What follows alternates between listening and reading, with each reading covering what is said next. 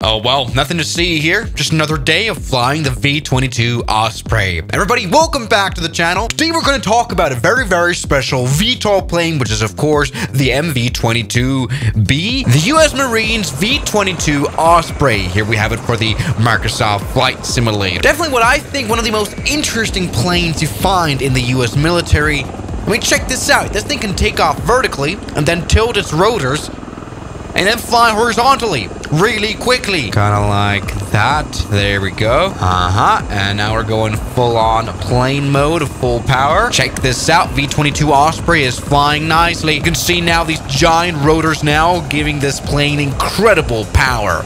But of course, the VTOL plane, as I, for example, showed in yesterday's video, is quite hard to engineer and does have its deficiencies.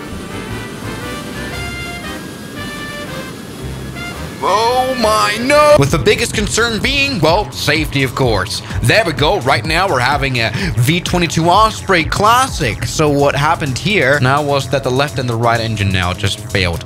Okay, we have a dual engine failure because we over revved the engine. I think you were able to see and that. now we've got a problem. Since this thing is neither a helicopter nor a plane, we're faced with the difficult situation of death because we can auto-rotate, which is something you can normally do in a helicopter. Auto-rotation is a state of flight in which the main rotor system of a helicopter turns by the action of air moving up through the rotor. This way, if you're inside of a helicopter, you can theoretically auto-rotate back to the ground safely.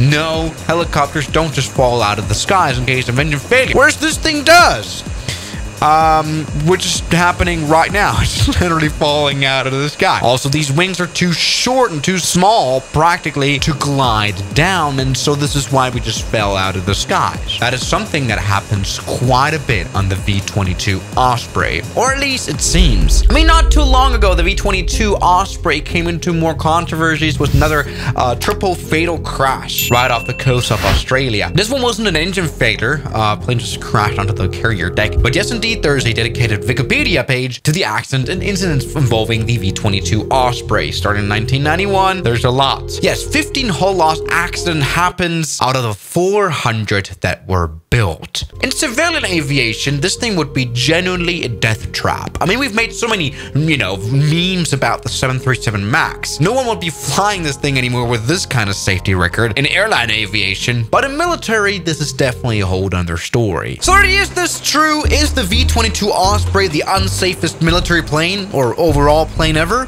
No. I found this interesting article here with this funny picture. We have a beautiful graph here that compares several military planes. Here we've got the MV-22B with a mishap rate of 3.9 out of 100,000. You can see it's quite below, you know, hey, famous airplanes like the F-18 or, or the C-20 Transport or even the 53E helicopter. So no, this plane isn't the unsafest. So you're, you're good there. Although it's, uh, it's really cool.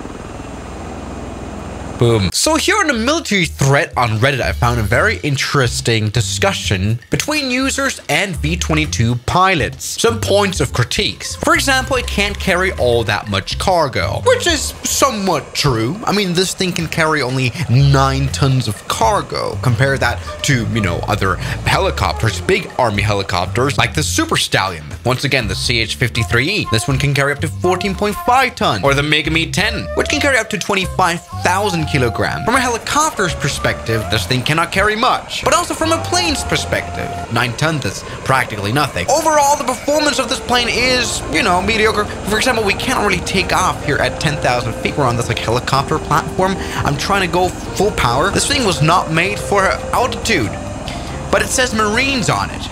I don't think that was the initial goal anyway. Check this out. Where literally this thing won't take off. We're at full power. You can see that.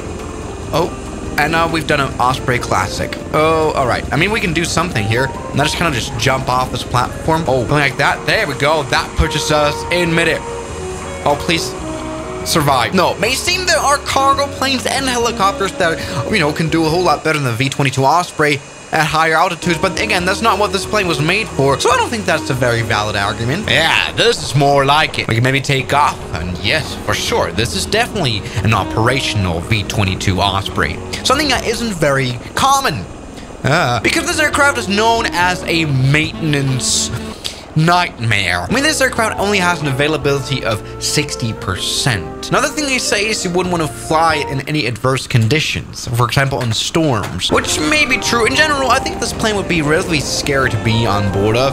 There we go. There's like 40 knots of wind. Although, you know what? It's actually not performing that poorly. Oh, oh, no, no, no. Oh, Maybe the physics are a bit off too. Oh, please don't crash. Oh, now this has become hard. All right. I guess we need a little bit more wind. Proper ocean wind. We need lots of gusting, lots of turbulence.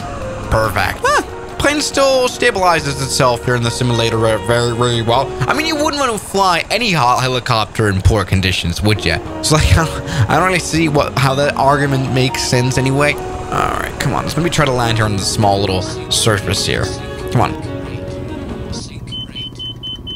Oh, all right, that's a cl classic. So let's maybe talk about the crash systems, the actual point of this video, because there have been so many crashes. Thing is, something you have to point out is that most of these crashes happened during development of the airplane. I mean, this plane was definitely built with the idea in mind that it would be incredibly crashable, and so a lot of redundancies were engineered. I mean, okay, for example, this thing can drive off of only one operational engine anyway, because they're both connected. So even if one engine fails, you have the other one to go. I mean, we can do that. Um, perhaps we can do that right now. Right engine control, turn it off. There we go. That's what I'm talking about. You can see that is happening right now, but that doesn't stop the airplane from flying at all. And a dual engine failure case is so rare. But this is hardly a problem. There we go. We can actually land pretty nicely. Uh-uh. No, no, no, no, no. Don't ruin my point. Don't ruin my point. Don't ruin my point. Okay, another classic.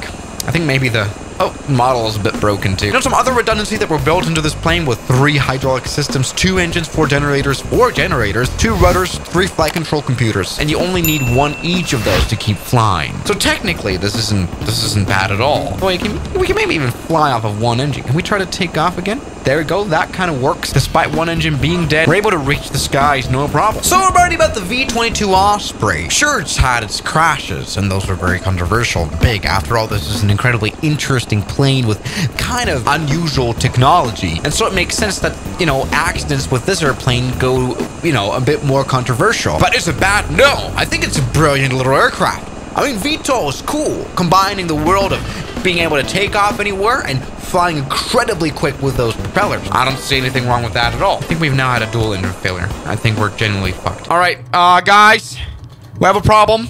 Landing gear down. Oh, this thing cannot glide at all. Oh my god. Okay, you wouldn't really want to end up in a...